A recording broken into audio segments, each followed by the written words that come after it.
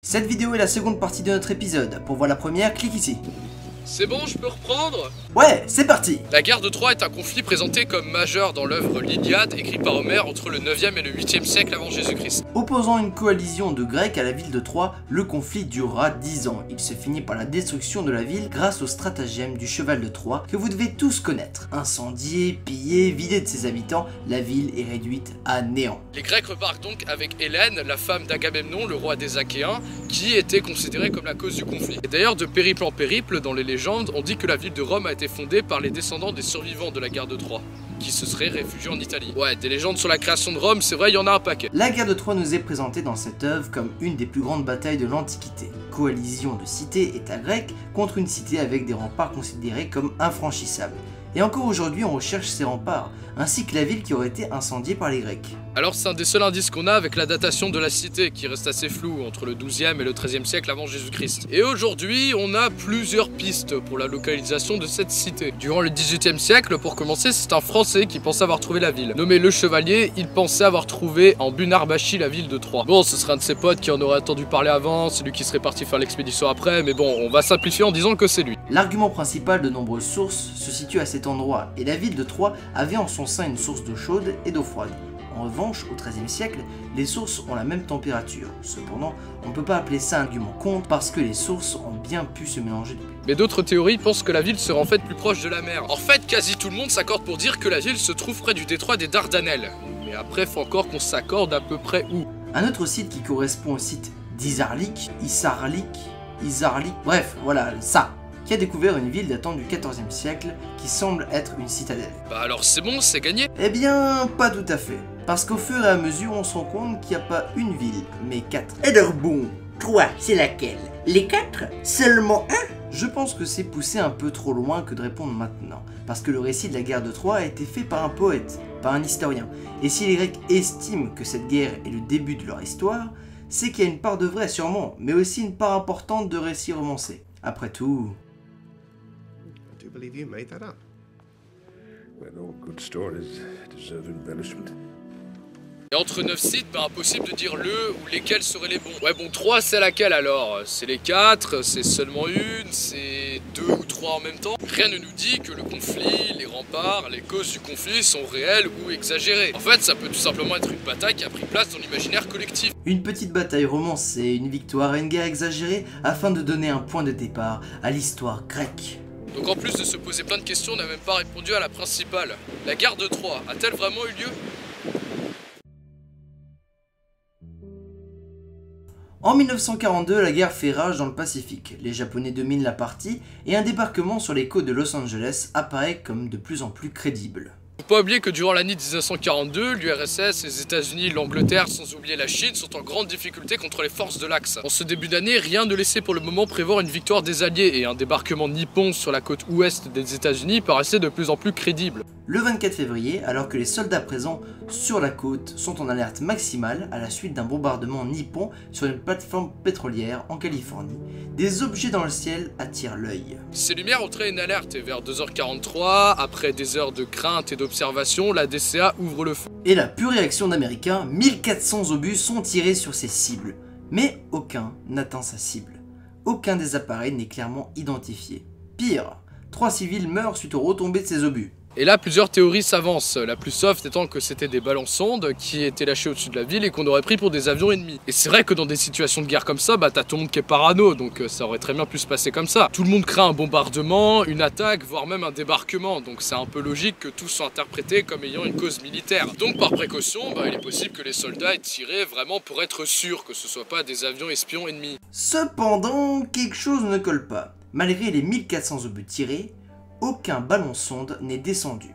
On peut alors penser à une nouvelle arme des japonais, un avion qui a réussi à esquiver la DCA, mais cependant aucune base nippone n'était assez proche des côtes, et déclarèrent eux-mêmes n'être pas responsables de ces événements après la capitulation. Et là donc personne semble comprendre si l'hypothèse de petits avions qui étaient utilisés pour apeurer la population est avancée, ben rapidement la thèse d'OVNI est venue. Je dois vous avouer que c'est sûrement l'histoire la plus étrange que j'ai entendue sur la Seconde Guerre mondiale, par le mystère et par l'ampleur qu'elle a pris. Donc même durant la Seconde Guerre mondiale, on a fait face à des grands mystères qu'on ne sait toujours pas résoudre. On ne saura peut-être jamais qui était là-haut dans le ciel. Selon vous, euh, qui étaient les cibles lors de la bataille de Los Angeles?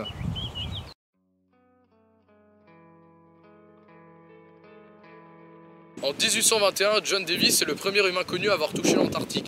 Alors que depuis la découverte du cap de Bonne-Espérance par Vasco de Gama, on se doutait de la présence d'une Terre au sud de la Terre, le continent austral. Les conditions climatiques de la zone ont fait que même James Cook, le fameux navigateur anglais, a dû renoncer à atteindre le continent. Cependant, voici plusieurs cartes, je vais vous demander de les voir et de me croire quand je vous dis que ce ne sont pas des canulars. Étrange Plutôt, ouais. Sur toutes ces cartes, dont celle de Mercator, le fameux mec qui a donné le nom à nos cartes à projection moderne, la projection de Mercator, se trouve celle de Piri Rice. Trouvée à Istanbul durant l'entre-deux-guerres en 1929, elle montre les côtes de l'Antarctique.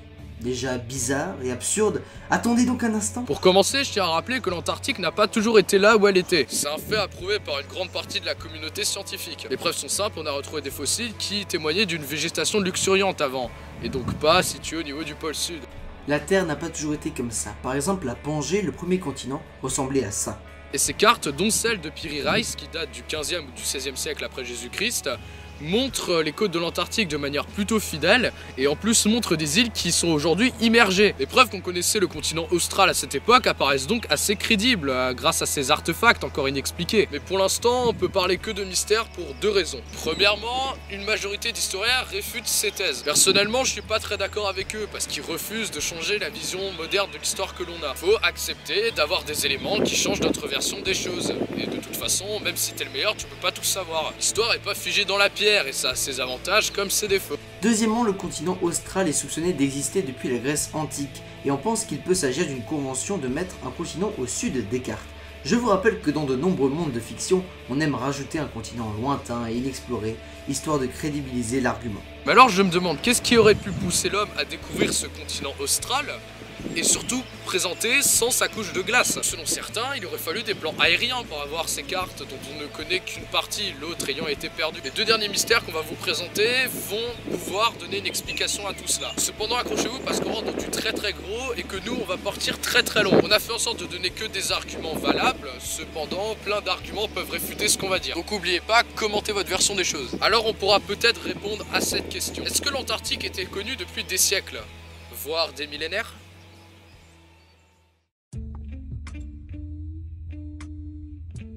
Si vous traînez même un peu sur internet, de temps en temps, ou que vous connaissez un peu le monde des complotistes, vous n'avez pas pu passer à côté de la théorie des anciens astronautes. Apparu en même temps que l'image moderne que l'on a des extraterrestres dans la culture populaire, cette théorie nombreux incroyable raconte que toutes les civilisations humaines auraient été forgées par des extraterrestres venus d'une autre planète. Ils seraient venus nous donner à la fois les mathématiques complexes, le feu, l'intelligence et peut-être même l'écriture selon certains. Si la théorie n'est pas admise par une partie majeure de la communauté des historiens, certains s'y attachent coûte que coûte et ont pour le coup le mérite de soulever de vraies questions.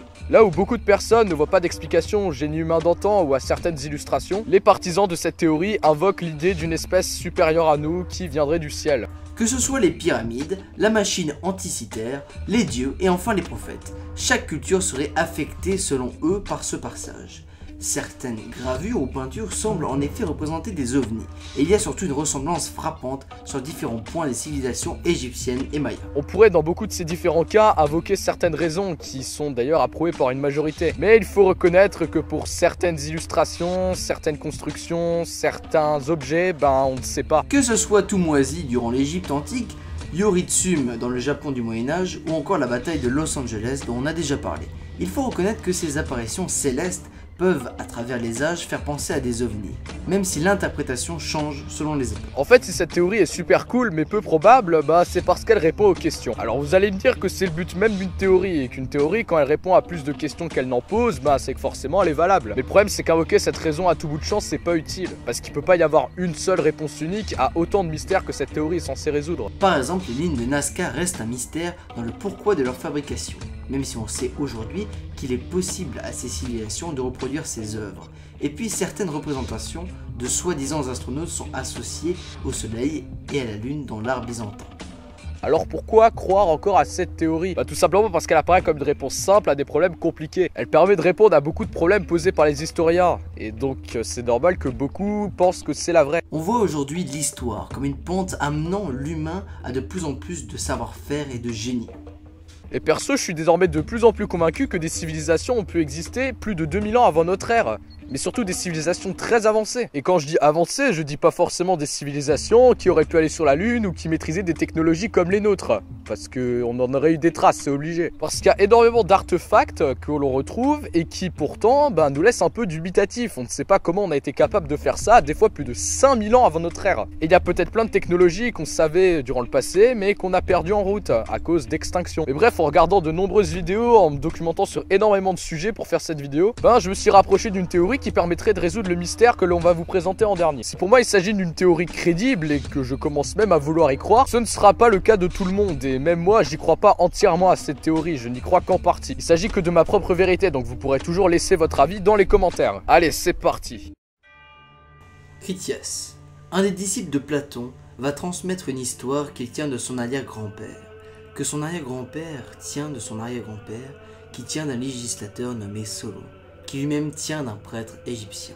En fait, à cette époque, les prêtres égyptiens étaient considérés comme les symboles du savoir. Ils avaient plus qu'une importance religieuse, ils avaient aussi les connaissances historiques. Ils connaissaient donc l'histoire humaine, les sciences, l'écriture. Ils savaient faire plein de choses. En fait, c'était un peu l'élite de la société. Cette île avait plus la taille d'un continent, et décrite comme ceci par Platon. En ce temps-là, on pouvait traverser cette mer Atlantique elle avait une île devant ce passage que vous appelez, dites-vous, les colonnes d'Hercule. Cette île était plus grande que la Libye et l'Asie réunie. Or, dans cette île, Atlantide, des rois avaient formé un empire grand et merveilleux. Bienvenue sur l'Atlantide. Disparue selon les témoignages 9000 ans avant, soit à peu près 9500 ans avant Jésus-Christ, elle aurait été en guerre contre Athènes. Athènes qui d'ailleurs aura perdu une grande partie de sa ville qui aura été détruite à cause des combats. La description de l'île faite par Platon est très longue, mais on va aller à l'essentiel. Elle permettait de faire la jonction avec le continent situé de l'autre côté. Boah, rien ne vous choque. 600 ans avant Jésus-Christ. Et on parle déjà de l'Amérique Les Atlantes sont surtout représentés comme étant un peuple décadent, un peuple qui aura même fini par coloniser les îles tout autour de lui, allant même jusqu'à l'Égypte. Au passage, retenez ce point, c'est important pour la suite. Mais enfin et surtout, la disparition aurait eu lieu en l'espace de quelques heures, en un jour et une nuit. Quel événement aurait pu mettre fin à cette civilisation au beau milieu de l'Atlantique Et où ce continent aurait pu se déplacer si on ne trouve rien au fond de la mer? Bingo L'Antarctique. Et j'ai plein d'arguments pour le soutenir. Premièrement, on trouve rien au fond de l'Atlantique.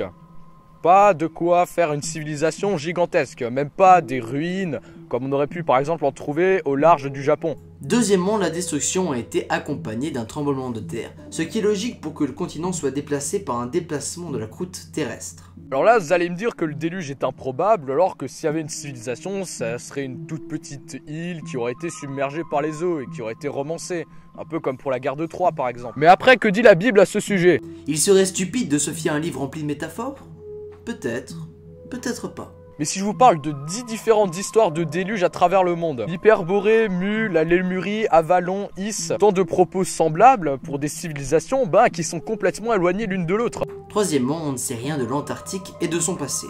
On ne sait pas ce qu'il y a eu sous cette glace et qui a eu tout le temps de redécouvrir toute cette civilisation. Quatrièmement, on sait qu'il y a eu d'importants bouleversements géologiques à la fin de la dernière époque glaciaire qui date à peu près de bon 10 000 ans avant Jésus-Christ. Et enfin, cette théorie peut expliquer beaucoup de choses. Et d'ailleurs, je me rends compte que je me rapproche d'une théorie semblable à celle des anciens astronautes, on dirait. Je vous disais tout à l'heure que les Atlantes, bah, ils avaient colonisé plein de territoires importants tout autour de leur continent. Et il est possible que ces colonies aient survécu au cataclysme, puisque la civilisation égyptienne est encore là tout comme la civilisation maya qui possède énormément de ressemblances avec l'Égypte antique dans les fameuses pyramides. Et cela expliquerait par exemple les traces de cocaïne égyptienne dont on avait parlé dans le dernier épisode. Ça expliquerait aussi l'évocation d'un continent situé de l'autre côté par Platon. Et on pourrait même aller plus loin en parlant des cartes de l'Antarctique du Moyen Âge, inspirées par d'autres cartes qui seraient très anciennes à une époque suivant le cataclysme. Il y a encore plein de choses à dire dessus, en argument pour comme en argument contre, mais on va pas le faire parce que sinon bah, la vidéo va durer deux heures. Et en plus, pourrait y avoir des arguments contre. Par exemple, je suis sûr vous pourrez me reprocher bah, que ma théorie explique beaucoup de choses, Un peu comme la théorie des anciens astronautes. Je le dis pas, mais j'estime qu'il y a quand même quelque chose en Antarctique personnellement. Ça pourrait expliquer beaucoup de choses, mais ça permettrait surtout de répondre à des interrogations de manière un peu plus logique que des extraterrestres venus d'une autre planète. Et même si c'est une théorie qu'on ne peut pas encore réfuter ou pas encore admettre comme vraie, bah un jour moi j'espère que l'on trouvera une civilisation avancée en Antarctique qui était à l'origine des civilisations de l'Antiquité et qui pourrait montrer que l'homme bah, finalement était capable de faire de grandes choses même 6000 ans en arrière. Et alors on pourra peut-être répondre à cette question que je trouve la plus intéressante des 10. L'Atlantide existe-t-elle?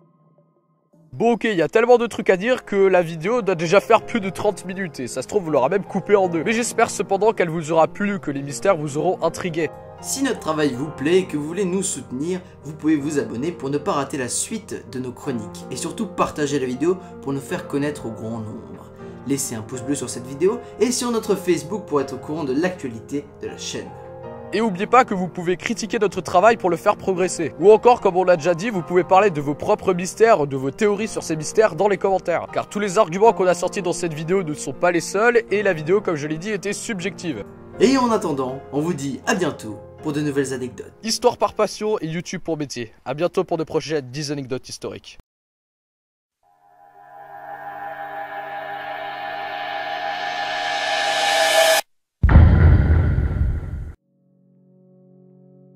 Tu as fait ce que je t'ai demandé? Oui, c'est fait, t'en fais pas. Parfait. Et as-tu été suivi? Je suis aussi discret que l'ombre. N'oublie pas qu'il faut assurer sa sécurité avant tout. Il meurt, on est foutu. Je sais, mais tu ne m'as toujours rien dit sur lui. Bon, je sais que ça peut paraître bizarre qu'il ressemble très pour très à mon frère. Pourquoi m'en fait appel à moi Si ça ne pourrait pas m'expliquer un peu. Tu es peut-être plus du style assassin, mais non, tu ne peux pas savoir pourquoi. Tant que j'ai mon frère de toute façon. Voilà, et tu nous ramènes sans te faire avoir. Et surtout n'oublie pas, on ne se connaît pas. Bien évidemment, mademoiselle Eve. Bon, je te laisse. Que vive la résistance?